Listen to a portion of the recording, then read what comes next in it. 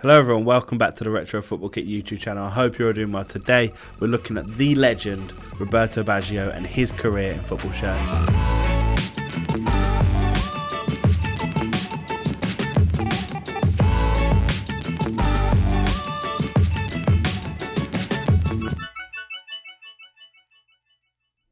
So yeah, Baggio career in football shirts. This is a bit of a series on this channel that started with Ronaldinho and his career in football shirts that was suggested to me a while back. I'm continuing on this series because you know what? In that video, I got loads of lovely comments from you guys saying, you know, you love the series, you want to see more, and I really appreciate that. So I'm going to do another one, episode two, right here, right now, Baggio. Make sure you get in the comments and let me know who else you'd want to see in this series, what other legends you'd like me to take a look at. Uh, and before we get into the video, make sure you check out the website, retrofootballkits.co.uk. Link will be in the description. All the shirts you see here, every shirt that I hold in this video is for sale on our website. All those plus thousands and more. Link is in the description. Make sure you check it out. Right, let's get into the video. So I'm starting this story in Florence where in 1985, Fiorentina bought Roberto Baggio from Vicenza for 1.5 million. He had a bit of a slow start to his Viola career. He had a couple injuries, couple knee injuries, which meant the first couple of seasons he didn't really get going. But of course, after that, he got the ball rolling literally, and started to become one of Fiorentina's best ever players. The 1988 89 season was really his true breakthrough at Fiorentina, where he, under manager Sven Goran Eriksson, led his Fiorentina side to the Coppa Italia quarter-finals, scoring nine goals on the way. He also scored 15 goals in the Serie A that year, which helped Fiorentina finish seventh place, which he got them a UEFA Cup spot. The shirt he was wearing during this 88 89 season is probably one of the best. It was during that time period where Fiorentina used the Fleur de Lis kind of hybrid F badge that they had for a while in the 80s. I really like that. It really makes it quite classy. Also, the shirt has this shiny uh, plus matte material using the ABM logo across the whole shirt to really give it a nice bit of shine, bit of finesse, bit of silkiness. Really, really cool, cool classy shirt. In 1990, Baggio was sold to Juventus for 8 million which was a bit of a world record transfer at the time, but this caused absolute riots in Florence because the fans were so unhappy with this exchange. But after a couple of years in Turin, Baggio was made captain for the 1992-93 season, which ended up being a very successful time. He helped Juventus win his first and only European competition trophy, where he won the UEFA Cup, where they beat Borussia Dortmund 6 1 on aggregate. He actually scored twice and assisted once over the two legs. They finished fourth in the Serie A. Baggio got 21 goals and 6 assists in the league and managed to tally up 30 goals across all competitions. This is one of the iconic Juventus shirts, made famous by that UEFA Cup win, but also the beautiful hidden details within this shirt. We have it here. And my favourite element is the small, small, subtle details you can see within the shirt. So there's like this kind of cross checkerboard pattern across the whole shirt. Also Juve badges inside of the shirt in the shiny material that really kind of have a subtle element of class to this shirt. We also have the yellow away one here from that season. Um, look at this, man. Look at this. This is absolutely gorgeous. It uh, contains that same subtle pattern within the shirt, but of course this is bright yellow with blue accents. Just an absolute stunner. We also have a couple of Baggio Juve shirts like this 94 95 one here. This is probably one of my favourite Juve shirts ever. Just look at that beautiful colour with the Juve badge, stars, Deone, Danone, all the words, all the niceness. Love that kit.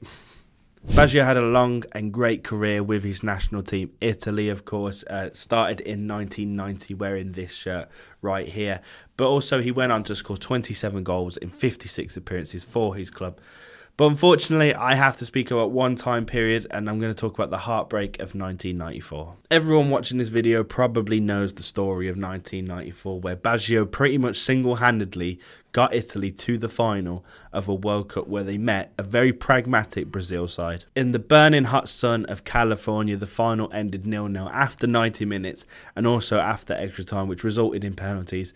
And with the deciding penalty coming at Baggio's feet, Brazilians probably thought the worst, but unfortunately the divine ponytail missed his penalty, shocked the world, and Brazil won that year such a heartbreaking time for Italy, for Baggio himself. Like, it would have haunted him for ages after that. On a lighter note, let's talk about the kits. Firstly, let's talk about the jacket that I'm wearing. Literally, I any chance I get to put this jacket on, I do. I absolutely love it. This was the training gear for that year, uh, and of course the kit itself, beautiful, beautiful blue kit, and inside the beautiful polo collar, there's just triangle designs that have the Italian flag colours in them. That's also represented on the cuffs.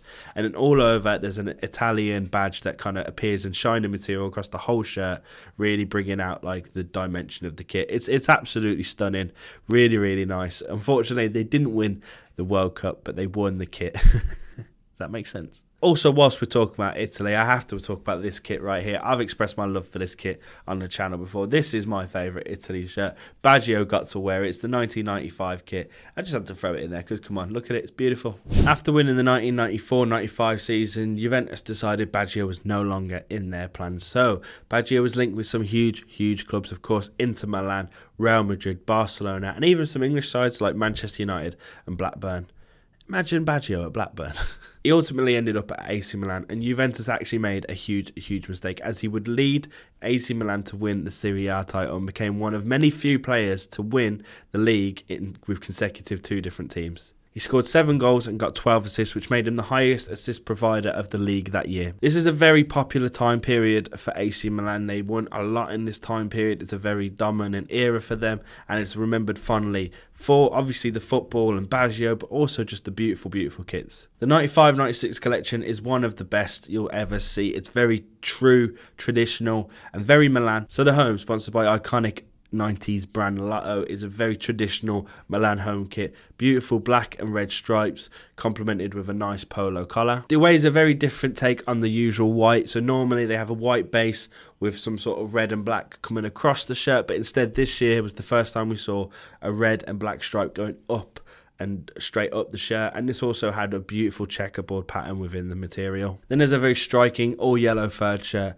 And finally to top it all off there's a beautiful funky blue fourth shirt that has loads of geometric patterns scattered across the whole of the shirt. A lot going on really cool really different. And this just collection of kits is one of the most perfect collections. All four kits just absolutely beautiful and work together beautifully. In his later years, Baggio was all about proving people wrong. So after complications with Milan, he ended up going to Bologna, where he was aiming to keep the club from getting relegated. He actually scored 22 goals in the Serie A, a personal best with 9 assists, leading Bologna to a ninth place finish. He then got his dream move to his boyhood club Inter Milan, where he'd wear the iconic black and blue shirts, these two that we have right here, and he played with legends like R9 Ronaldo, Zanetti, Simeone, and even a young Andre Pirlo. Unfortunately, at Inter, he never really found success, and more complications with the manager led him to become a free agent in the 2000 2001 season. He would then go on to make a similar decision to the Bologna one where he'd go to a lower league side and aim to not get them relegated. So he went to Brescia, which was his final club, and during the four years that Baggio were there, they had their best ever run in Serie A where they did not get relegated. He would wear those iconic bold V-shaped designs like this one right here at Brescia, and actually his number 10 shirt got retired as he became quite quickly one of their best ever players. So overall, Baggio had a great, great career wearing some of the best football shirts of the 90s. You have to be a little bit jealous of the guy. Uh, that's my Baggio video, career in shirts. Let me know what you think in the comments below. Uh, let me know who else you'd want to see in this series. This I love doing these series. The research I get to deep dive into a player's kind of history, his career, and also just the beautiful shirts that he's in. So I love it. Before I go, make sure you check out the website. Every shirt that I've held in this video, all these beautiful ones here, they're all on the website. So make sure you check it out. Retrofootballkits.co.uk is the website. The link is in the description. I appreciate you all. Have a great day, I'll see you